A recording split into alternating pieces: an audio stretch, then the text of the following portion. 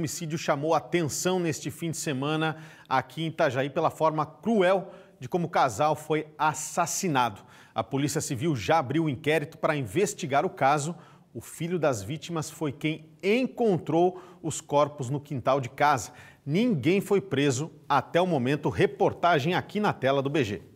Uma câmera de monitoramento da vizinhança conseguiu registrar o momento em que o casal chega com o veículo em casa.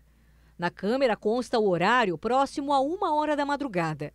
Logo depois passa uma moto e também um carro.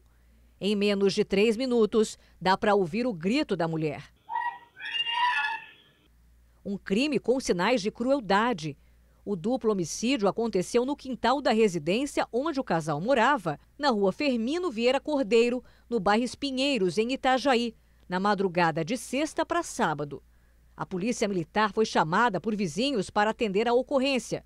O filho do casal teria encontrado os corpos já sem vida. No local nós encontramos as vítimas nos fundos da residência, né? ambos estavam amarrados, amordaçados sinalizando que a morte foi bastante violenta. Né? O filho disse que conversou, se comunicou com os pais até por volta da uma e meia.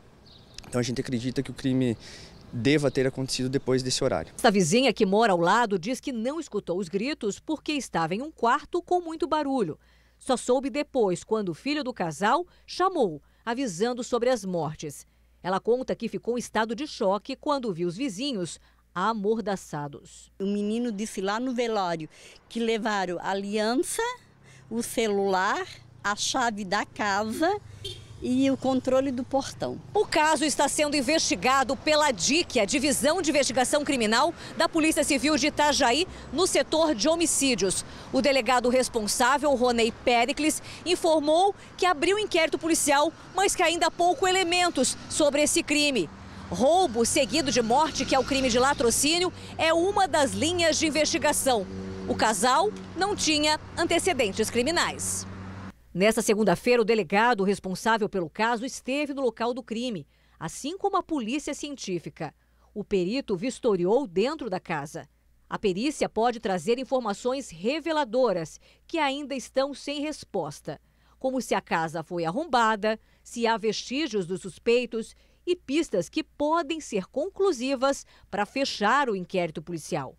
As vítimas tinham sinais de violência, mas não havia marcas aparentes de tiros. As mortes ocorreram por asfixia. As vítimas Pedro Ramiro de Souza, de 47 anos, e a mulher Suzimara Gonçalves Souza, de 42 anos, eram proprietários deste comércio de decorações e forro de PVC, que fica no bairro Cordeiros. O comércio hoje tinha um pano preto na fachada, sinalizando luto. O velório e o enterro aconteceram no domingo, no cemitério do bairro Fazenda. Para os vizinhos, ficou o sentimento de tristeza e também o sentimento de medo. Agora está rolando todo o inquérito policial, polícia investigando esse crime bárbaro que aconteceu aqui na cidade de Itajaí e a gente continua acompanhando esse caso aqui no Balanço Geral.